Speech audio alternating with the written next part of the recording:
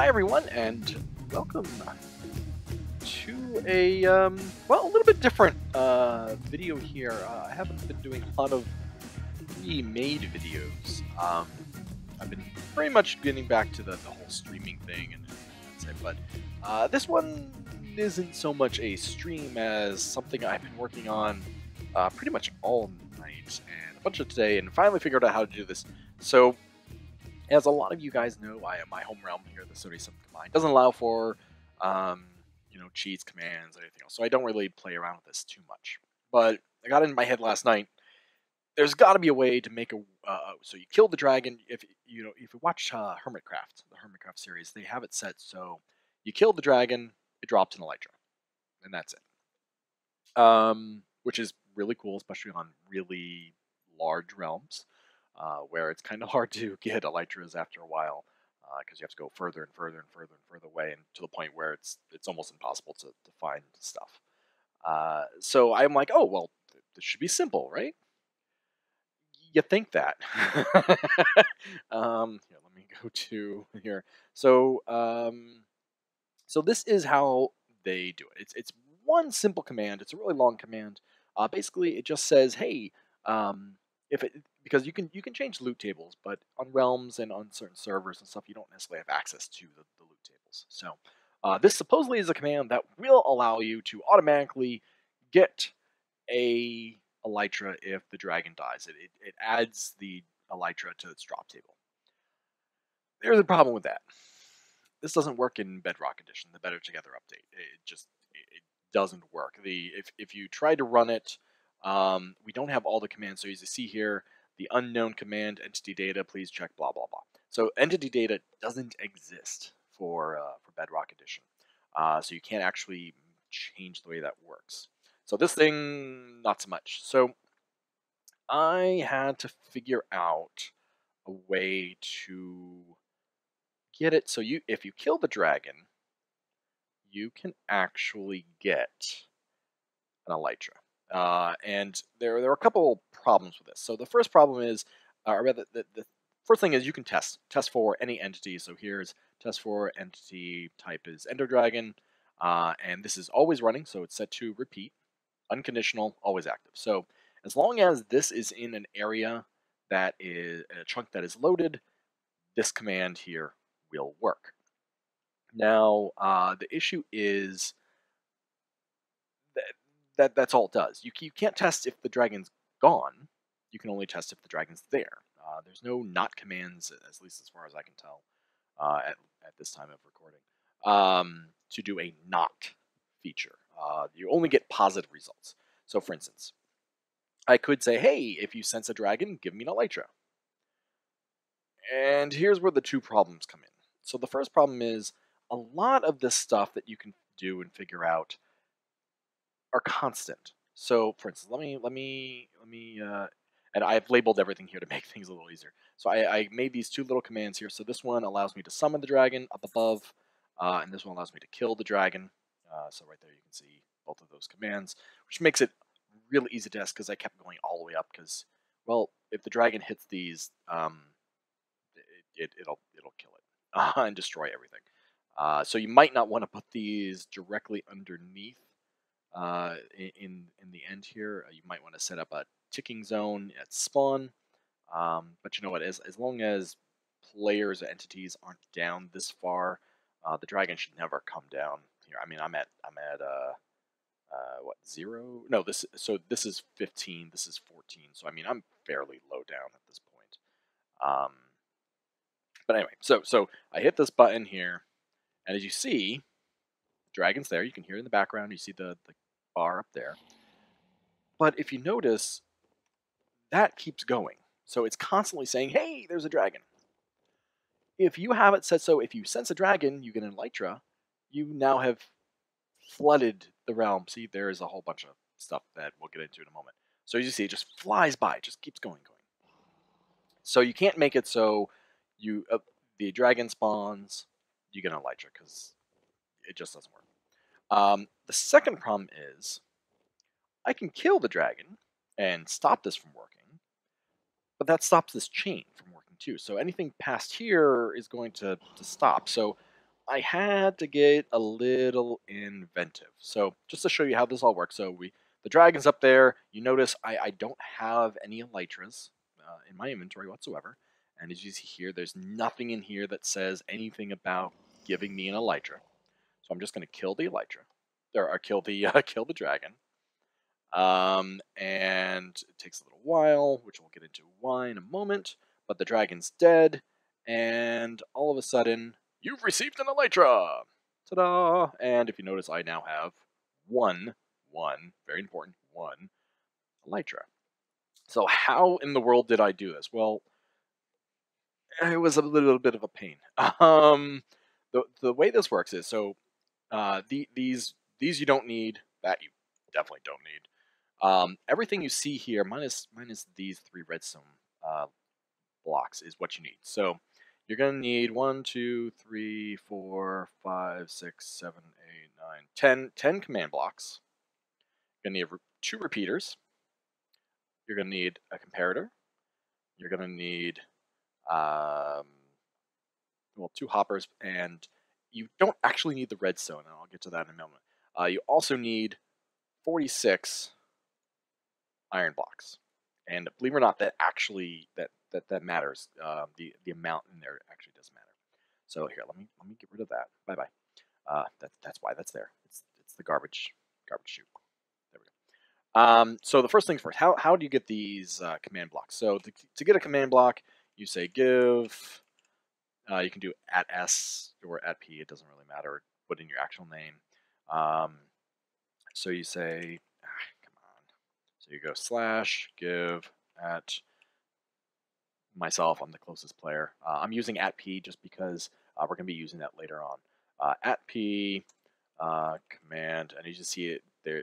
Command block, command block minecart, chain. Uh, all these you can change. Um, you can't do a command minecart one, but we're not dealing with that. So uh, just give yourself a command block, and and you see now I have, that command block there. Um, okay, so let's let's let's start with this here. So we have test for dragon. You have slash test for at entity. You know, colon just like this. I'll, I'll put most of the stuff here in the uh, the description to make life a little easier. You don't need to put this uh, over here where it's a well, you can't see my mouse, can you? um, yeah, you don't need the test dragon part. Uh, that's just the name. So when it's up there, easier for us to determine which is which.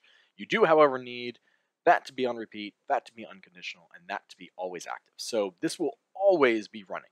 Now, if you notice, like before when we had this, you know, we had tons and tons of stuff here. Test dragon found, blah blah blah. That's because this is only going to put stuff into the chat if it's actually successful. It's actually doing stuff. Um, as you see right now, no targets matched selector is showing up there. Uh, and we'll get to the point where we actually get rid of that because you don't want that flooding your um, your chat. Uh, but we'll, we'll, get to that at the end. Uh, the next is we're going to want a chain, uh, a chain type, conditional, always active at set block. Uh, these numbers here are going to vary depending on where you're actually putting stuff, uh, but you want redstone block. So what this command here does is it goes over here to this little guy, and this block right here, right on top of this hopper, instead of the redstone block being here, it'll create one right on top, which will allow, well, well it'll, it'll lock this. So that means anything that flows into here will actually stay there, uh, which will be very useful here in a moment. The second one here, remove redstone. So this one here, as you see, it's the same uh, thing, set block, except now it says air. Uh, and it's also one block off. So what this is this one here going to do is it's going to remove this redstone block, allowing these 46 items to flow over into this hopper. Now, when that happens, this comparator here will start you know, seeing the new items, and when it gets all the way full, so all 46 flow in here, it'll activate this and start this. So the first thing we're going to do, uh, and the reason is there were a lot of different examples I saw where it was doing this immediately show up, disappear, back and forth. And the problem is the ticking doesn't work the same way in uh, Java uh, as it does in, in Bedrock. Uh, so I couldn't I couldn't just do that. I had to make a, a, a, slower delay process in order for it to be recognized properly. So this goes here. This first thing we do is remove all but one block of iron from here. And that means this signal now you know, goes back to almost nothing. We then add 45 blocks, because remember, we we have 46, so we have we're going to have four, adding 45 here and making this 1. Uh, so as you see, they're going to go back and forth. Uh, this here, so any, any of these green blocks, by the way, uh, I'm not sure how familiar some people are, though if you're probably looking for this, you probably have at least the basics on command blocks. Um, but the, these purple ones are repeat blocks. That means they're always running depending on their, their uh, conditions and everything else. Uh, these green ones are chain blocks. That means they go blah, blah, blah, blah. Uh, and then these are ones that only are active. These are the standard ones, the impulse. Uh, and these orange ones will only activate uh, if they are powered or whatever it may be. But more importantly, they only happen once. They only, they only run once. So again, this is going to do that. It's going to add the iron. It's going to remove the redstone. And then we're going to add redstone. So this one here is adding back this red block, this redstone block right here, which will block this. Now you may think, well, that's going to break the system, right? I mean, it's it, it, it, nothing's going to be able to flow. But remember, this block here only runs once. This block here is removing that redstone pretty constant. As long as this senses that there's a dragon, that there is going to remove any redstone block here with an air block. So this will only add it once, that'll add it constantly. So this basically then is going to create a whole cycle. So if we summon the dragon, you notice that block disappeared. It added the redstone there, and we can see blocks are flowing in here. Uh, and again, you don't don't need these redstone thing; it's just easier to see than this. Um, this is going to power that as soon as it gets full. There goes. See, it, there was a command that went all the way up there, but we never saw it because it went so fast. It tick, there's four ticks in a second, so um, we never see that redstone block. But more importantly, this block, this hopper is basically always powered. So this, there's always going to be stuff here. Now, as you see, this here also is powering this. So we're pushing redstone signal in here causing this to be a powered block. And then this, uh, I have it on 4 tick delay. I don't think it really matters, but I, I just like having it on 4 tick. This is going to power this. So this is going to test for redstone. So what this is going to look for is, hey, this, this redstone block here, is there a redstone block here? If the answer is no, nothing happens. Because remember, output only happens if you're successful.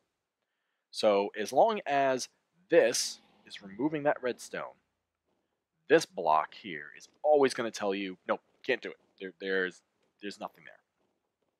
As soon as we, however, kill the dragon, this, this block here is no longer removing that redstone and it'll stay there. So that will then power these two.